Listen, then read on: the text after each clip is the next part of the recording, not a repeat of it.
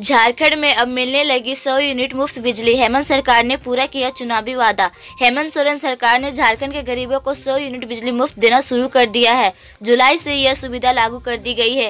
राज्य के 32 लाख गरीबों को यह लाभ मिलने लगा है। झामुमो ने चुनाव में इसके लिए वादा किया था। तो हेमंत सरकार की ओर से सौ यूनिट बिजली फ्री दी जा रही है। कितना लोगों को फ़ायदा मिल रहा है और क्या आपका कहना है?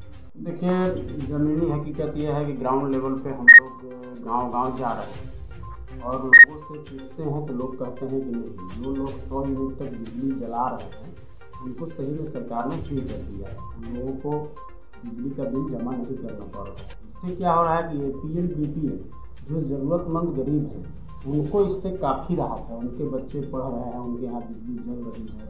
तो ये सरकार की उपलब्धि है और चाहे सर्जन पेंशन योजना हो, चाहे आंगनबाड़ी सेविका का मामला हो, चाहे पारा शिक्षक का मामला हो, चाहे पुरानी पेंशन योजना, हर मोर्चे पर सरकार लोगों के लिए कार्य कर रही है और उम्मीद है कि आगे और भी बेहतर हमारी सरकार कार्य करेगी।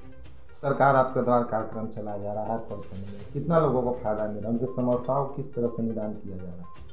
पहले देखिए ये योजना जब नहीं चल रही थी तो सुदूरवर्ती ग्रामीण क्षेत्रों से लोग प्रखंड में आते थे अपने कार्यों के लिए।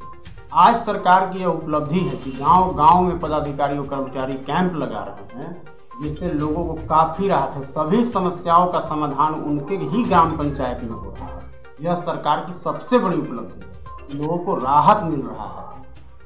लोग परेशान नहीं हैं। हमारी सरकार, आप डाउन रिपोर्ट कीजिएगा तो आपको पता चलेगा कि गाँव गाँव में वृद्धा पेंशन, विधवा पेंशन, विकलांग पेंशन, जो भी पेंशन है, जो भी लोग परेशान हैं, उनके लिए कार्य सरकार लगातार कर रही है।